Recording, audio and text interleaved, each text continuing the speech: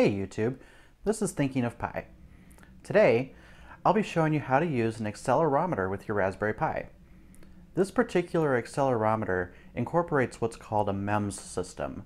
M-E-M-S, which stands for Micro Electromechanical System. Basically what that means is that the chip has a microscopic mechanical gyroscope embedded directly into it.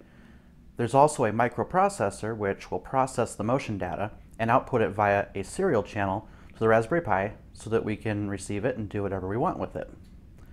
I'll be showing you the code here in a second, but let's go take a look at the circuit. I'll show you the processor and the motion sensor, and I'll show you how it's put together. So this is our accelerometer. This little chip right here in the middle is where the gyroscope's at. That's where the processor is, and everything gets handled right there and outputted through the serial channels right over here. There's a lot of other pins on here. I won't be focusing on those today. We're just going to be worried about the ground, the voltage, SCL, and SDA. Another thing to pay attention to is these markings right here. Those identify the axes. Um, if the unit were to rotate this way, that would be the y-axis, the x-axis, and then right down the middle is the z-axis. So this is going to get plugged in right up here. We've got our 5 volt power, ground, and the two white wires come over here to the I2C pins on the Raspberry. That's all there is to it. I2C makes things very easy, very simple. So the data is already formatted, it gets outputted, and we can do stuff with it. Let's head over to the computer, we'll take a look at the code, and I'll show you how it works. Alright, so there's not a lot to the code here. Like I said before, this does use the I2C channel. You want to make sure that's enabled, but because it uses the I2C, everything gets very easy here when it comes to programming. We've got a special library for it here. The model of accelerometer is the MPU 6050, so there's a special library for that. We also need to use time. And then we just define a variable here for the sensor itself.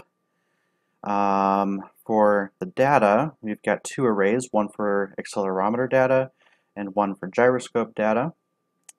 And then we just have to initialize the sensor and let it do its work here. We're going to get the acceleration data, we're going to get the gyroscope data, and we're just going to print it out. Um, this first line here is just going to read the three axes and print out the raw data. And then this next line here is going to actually interpret that into more usable information. We're going to be measuring the g-force as well as the rotational data, which will be in degrees per second. So let's run this here.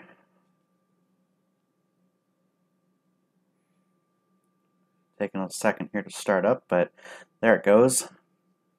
Now you can see the first line here is the raw data. Doesn't really mean much to us.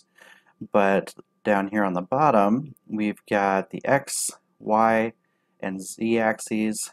Um, the Z axis is measuring about 1g because that's the force of gravity. And then we've got the rotational data over here.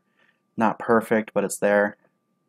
It's accurate enough for us to be able to comprehend the data and actually be able to do something with it. Now I'm going to toss that thing around a little bit, see if we can get some readings out of this. If I turn it on the x-axis here, you can see the x go up to 1,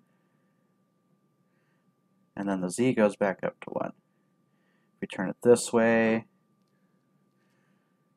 you can see the change on the y-axis. So everything's working pretty well there for um, the accelerometer.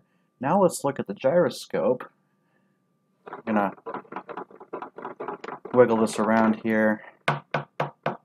You can see some data there with the rotations. Here, let's stop this here and actually take a look at it.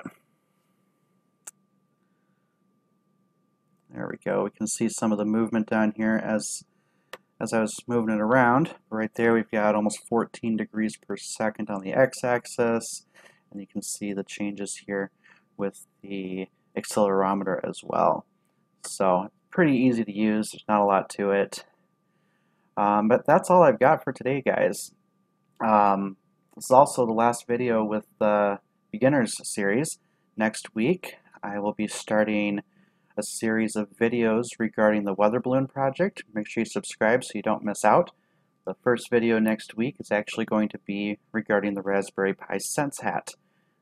It's a very useful bank of sensors. I'm excited to use it. There's a lot of things you can do with it, so you're not going to want to miss it. But until then, guys, I will talk to you next week. Thanks.